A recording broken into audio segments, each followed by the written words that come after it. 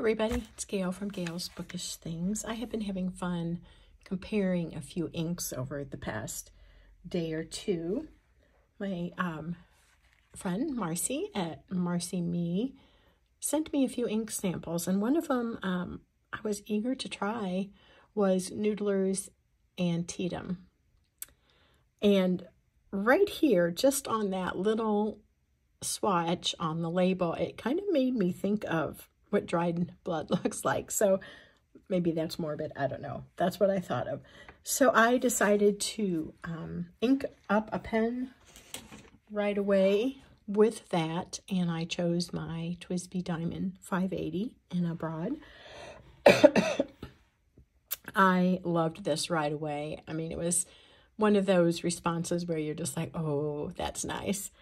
I didn't put a lot in at first and I ran it dry pretty quick. So I went ahead and added quite a bit more of the ink to my pen. And I'm finding that combination absolutely wonderful.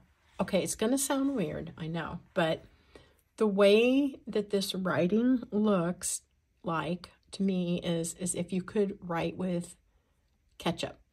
To me, it seems like the color of ketchup, not the consistency, but just if you were able to convert ketchup to an ink, that's the color to me. It's like a really deep red with a little bit of orangey.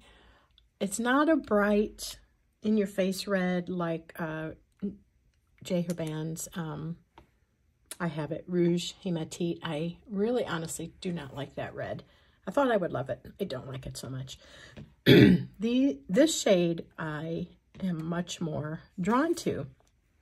When I was writing with the Noodlers Antietam, I may not be pronouncing that right. I should know.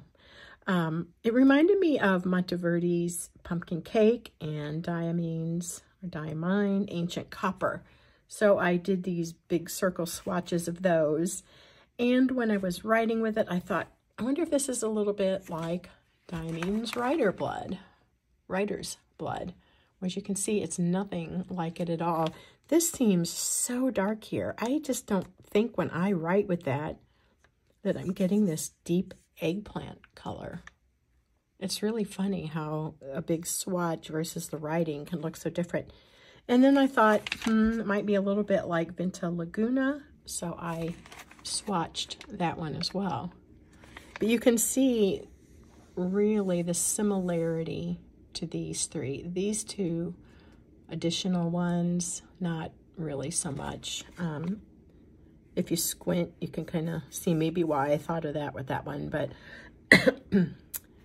they're quite different. These three seemed very similar. When I was writing, blah, writing with this, I thought I love it, but I probably don't need it because it really reminds me of these two.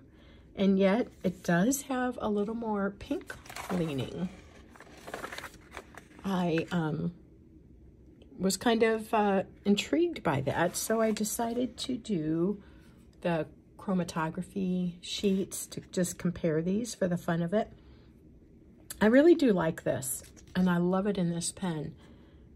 The debate would be, do I need a bottle of it? You know, maybe another sample would be a good way to go, just because of the similarity. But like I said, it did have a lot of pink, or so I thought upon just looking at the swatch. So when I did the chromatography, I was like, wow, I, I was right on. I surprised myself that this does have a leaning of pink.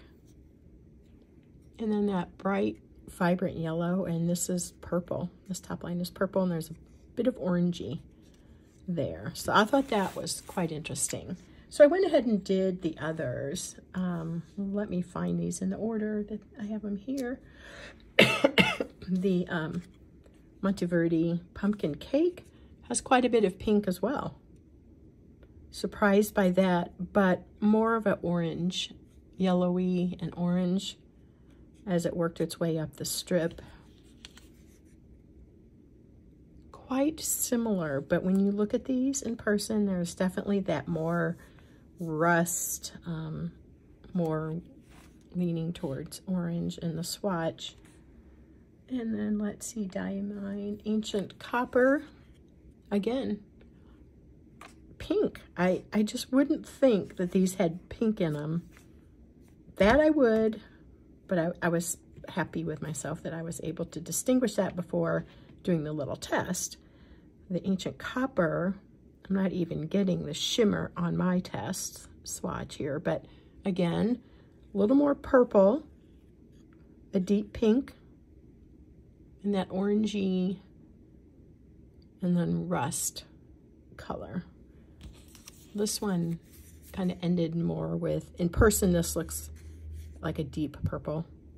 And here it's somewhat that, but more, a little bit lighter. and then Writer's Blood is really nothing like these, and obviously not here. But when I write with Writer's Blood, I got more of a sense of a, of a, a deep red. So, and I did my um, dip pen here, my glass tipped dip pen for the writing, except for on this one. And so that lays down just, at least the way I dip it, almost too much ink. Obviously that one was overdone. But look at that, that's purple. Bluish maybe, maybe a blue, blue-gray, going into purple, and then a, a rich, deep, rosy hue almost. Kind of surprised by that, intrigued by that. This is one of those things that's grown on me. I didn't understand why people wanted to bother with this, but now that I've done it, and I thank Marcy for the urge to do this. oh, the power of suggestion, I always say, makes us do all kinds of things we thought we might not want to do at one point. And then the Vinta Laguna is all about pinkish, light, uh, maybe a light pink to a deep corally pink, and then the last little swirls, little waves of color are a deep, comfortable red. When I say comfortable red, it's a red that I like. These to me are a little more red leaning. These are a little more orange or rust leaning. Um, I much prefer to write with these than my Rouge Hematite, but it's just a different, totally different kind of color. So there's that one. This is a nice swatching of that actually. Sometimes when I'm writing with it, well you can kind of see here maybe, it just looks like a sort of a bland brownish red, but the swatch is prettier. I love the feel of Vinta Laguna though. It's a very nice writing experience for me. Um, I use it in my Benu Briolette and really like it in that. So um, as far as sheen goes, the Diamine Writer's Blood, I would say has a gold sheen. The Diamine Ancient Copper, you would want to say a copper sheen, but I, I'm seeing more of a bronze sheen. Little bit of sheening in these, but so little, it's hard for me to distinguish exactly what I'm seeing. And then this one has a little bit of green sheen to it. I do not typically pick up on that when I'm writing with it. And then here in the writing, you can really see the, the sheen here and quite a bit in the copper too. This is Cosmo Air Light paper, if you're wondering. So that's that. Um, I am enjoying this color and I had a couple comments on my Instagram where I, uh, that one shows up on the front of the picture and a uh, person said that they love this. So I definitely see the draw. It's nice to write with something that's a fun, maybe not a fun color, but just a, a color that's not so dark that you can't distinguish it. It feels nice and light during during these um, cloudy days. I've been writing a lot with my um, Franklin Christoph, and I have that inked up with Lamy Tourmaline. And I have my new Vanishing Point with Yamabudo, and those two colors are so bright and poppy.